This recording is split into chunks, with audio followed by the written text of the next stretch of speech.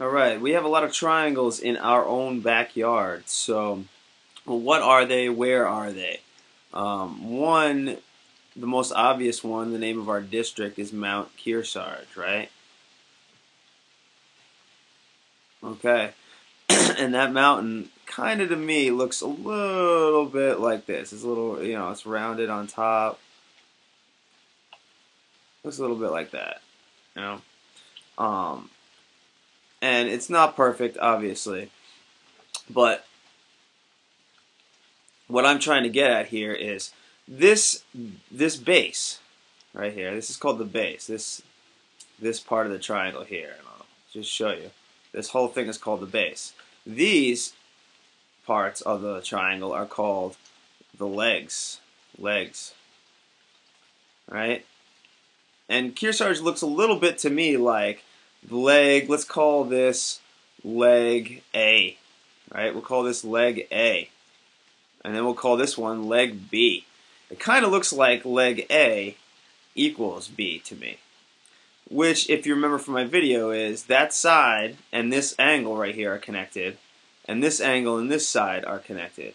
Now, if A equals B, then that kind of means that these two angles are the same right? These two angles are the same. And what kind of triangle is that?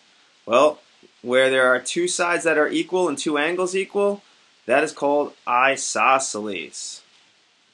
Right? It has two equal sides and two equal angles. That's an isosceles triangle. Another mountain that we have that y'all ski on is Mount Sunapee. And the height of Mount Sunapee here, by this by this uh, picture, is given by 2,743 feet high, I believe.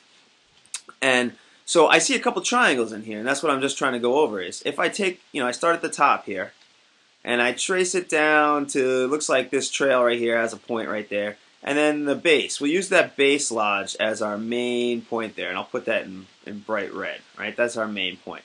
Well, this triangle that I'm drawing here looks kind of like this. It connects down this trail here, right down the main lift, right? Right there, and right there. And what kind of triangle is this, right? What, what do we recognize this as? Well, to me, it looks like this angle is what's known as a right angle right? It kind of looks like a right angle to me, which is like a box right here, right? That looks like a right angle. So that's a right triangle, right triangle, okay? There's another triangle I see in here, and it looks kind of like, I'll go down follow this lift down here, down the park, and, oh, actually that's not the park, but here. And then I'll connect this point and the summit to the main lodge down here. Now, this is another type of angle we've talked about. And to me, that kind of looks like where all the sides are the same, kind of looks like all these angles are the same, right?